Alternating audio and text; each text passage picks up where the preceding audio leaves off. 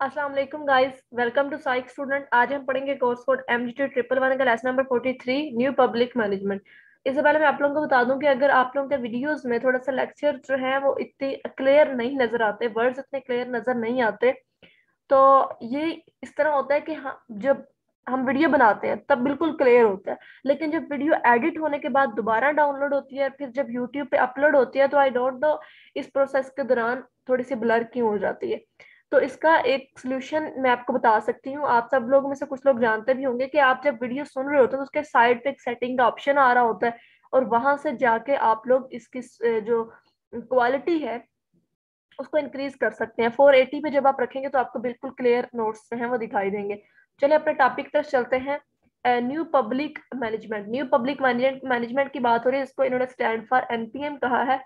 1980 से 1990s में इस बात पर फोकस किया गया कि जो हमारी एडमिनिस्ट्रेशन है, इसके मॉडल को ज़्यादा एफिशिएंट बनाया जाए। और लोगों से राय ली गई कि क्या लोग जो चाहते हैं कि इसको ज़्यादा इसके अंदर कुछ ज़्यादा एडिशन की ज़रूरत है, इसे ज़्यादा एफिशिएंट बनाने की ज़रूरत है। और उसके बाद फिर आगे इन्होंने पब्लिक मैनेज जो न्यू पब्लिक मैनेजमेंट बनी, उसके कुछ पॉइंट्स बताए हुए जिन्हें मैं आप लोगों को सिंपल समझा देती हूँ। सबसे पहले क्या हुआ करता था?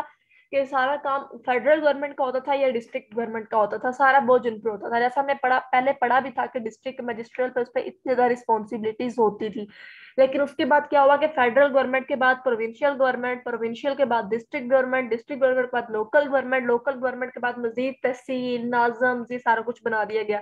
इससे ये हुआ कि तमाम रिस्पॉन्सिबिलिटीज डिवाइड हो गई एक दूसरे के, एक दूसरे के साथ। और फिर उनका जो वर्क प्रेशर था वो कम होता गया, ठीक है? और फिर वो अच्छे से अपने काम को परफॉर्म करने लगे। और इस इसी तरह उन्होंने एक एग्ज़ाम्पल भी दिया कि फॉर एग्ज़ाम्पल जो सिटी में ट्रांसपोर्ट है, उसकी ज़िम्मेदारी भी गवर्नमेंट की थी। लेकिन बाद में क्या हुआ कि ये ज़िम्मेदारी प्राइवेट सेक्टर्स को मुहैया कर दी गई।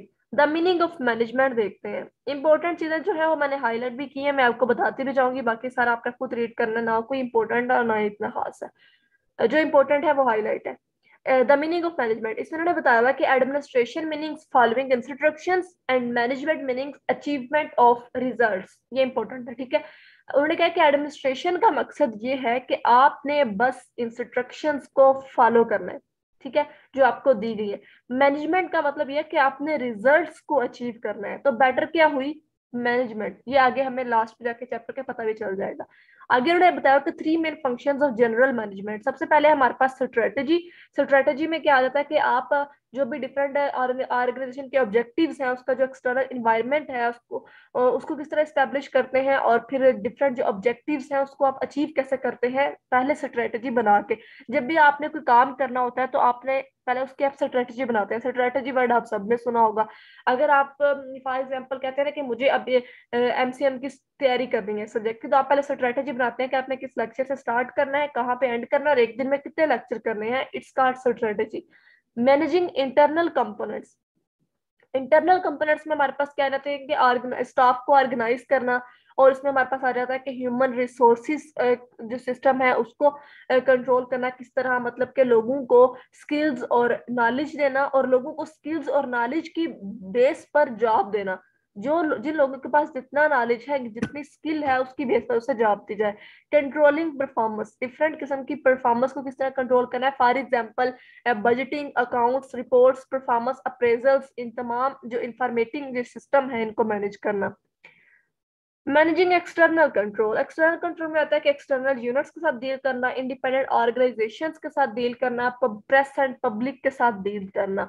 एक्सटर्नल यूनिट में वही उन्होंने ऑर्गेनाइजेशंस की बात की है कि जो बहुत बड़ी बड़ी ऑर्गेनाइजेशंस होती हैं उन्होंने अपने अपने सीनियर मैनेजर्स रखे होते हैं, जो डील्स करते हैं, आगे फर्दर मैनेजर्स के साथ और एम्प्लॉयज़ के साथ और इंडिपेंडेंट ऑर्गेनाइजेशन क्या होती हैं, जो कि उन्होंने बताया हुआ कि वो agencies from other branch or level of the government interest groups or private enterprise that affect the organisation ability to achieve its objects मतलब इसमें हमारे पास लेवल ऑफ़ द गवर्नमेंट भी आ जाती है और वो इंटरेस्टेड ग्रुप या प्राइवेट इंटरप्राइज शामिल होते हैं, जो कि ऑर्गेनाइजेशन के साथ अफेक्ट कर रहे होते हैं और अपने ऑब्जेक्ट्स को अचीव करने की एबिलिटी रखते हैं। Dealing with press and public or approval and agreement is required इसके अप्रूवल के लिए एग्रीमेंट के में किसी भी एक्शन लेने के लिए किसी भी अप्रूवल या किसी भी एग्रीमेंट की ज़रूरत होती है। और यहाँ पे भी वही चीज़ें इन्होंने दोबारा बताई हुई है। आप लोग देख सकते हैं the first main function is that of strategy सारा स्ट्रेटेजी के बारे में बताया हुआ जिसका मैं आपको साथ कंसेप्ट क्लियर कर चुकी हूँ। Second function is the main function is ये लिखा हुआ है। मैनेजिंग एंड इंटरनल कंपोनेंट ठीक है? इसका भी मैं आपके साथ कॉन्सेप्ट क्लियर कर चुकी हूँ। इसको इस कलर से हाईलाइट कर देते हैं। थर्ड फ़ंक्शन आगे उन्होंने बताया हुआ है कि एक्सटर्नल एक्सटर्नल कॉन्टेक्स्ट ठीक है? ये भी हम पढ़ चुके हैं। मैंने कहा ये ना होना आपके इतना सा छोड़ दिया अंदर से। तो बेसिकली uh, मकसद क्या है? कॉन्सेप्ट क्लियर करना और ये हम कर चुके हैं। बिगिनिंग ऑफ़ मैनेजमेंट अप्रोच अब ये जो इतना लंबा छोड़ी इन्होंने तमहीद बांधी हुई है ना इसमें अब हमने शॉर्टली देख रहा है कि इन्होंने क्या बताया। मैनेजमेंट अप्रोच की बिगनिंग इसमें वही बात, जब मैं आपको फ़र्स्ट पे मैंने आपसे कहा था कि लास्ट पे ये बात अप्रूव हो जाएगी कि मैनेजमेंट अच्छी है।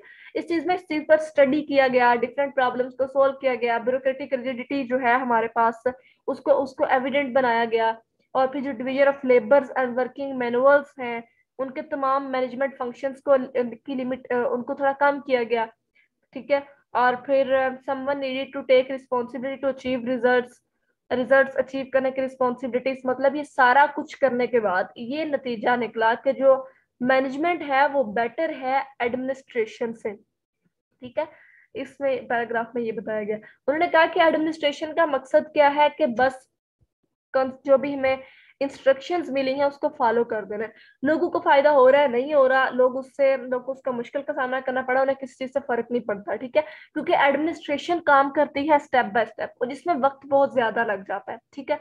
और जिससे लोगों को इतना, जो लोग इससे मुतमिन नहीं होते सेटिस्फाई नहीं होते, लेकिन जो हमारी मैनेजमेंट है, वो रिजल्ट्स को अचीव करती है। उन्होंने ये देखना है कि लोग कहाँ पे सेटिस्फाई हो रहे हैं, किस मैनेजमेंट से हम अच्छा परफॉर्म कर पाएँगे और इसलिए मैनेजमेंट को ज़्यादा बेहतर समझा जाने लगा एडमिनिस्ट्रेशन की निस्बत one starting point management is the 1916 में Fulton report in United Kingdom this report noted concern with the management capability of public service it recommend that systems be open outside be employed ये सारा आप लोगों ने पढ़ लेना, कुछ भी इंपॉर्टेंट नहीं है इसमें।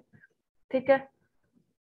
और ये मतलब कि यूएसए और ऑस्ट्रेलिया में जो डिफरेंट किस्म के पब्लिक सेक्टर्स डिवेल्प हुए थे उनके रिफॉर्म्स को इंट्रोड्यूस किया गया ठीक है? जिसके अंदर फ्लेक्सिबिलिटी कैपेसिटीज और चैलेंजेस को मीट करने की मतलब के चैलेंजेस को फेस करने की। उस, उसके बारे में बताया गया। तो यहाँ तक था हमारा lecture number forty three I hope forty three ही होगा। फोर्टी थ्री ही था। ऊपर चले गए हम ज़्यादा। ठीक है? लेक्चर नंबर फोर्टी थ्री को हमने कवर किया अगर आपको कुछ भी समझना है आप लोग कमेंट बॉक्स से पूछ सकते हैं। मेरे चैनल को लाइक करें शेयर करें सब्सक्राइब करें। मैं नेक्स्ट वीडियो में।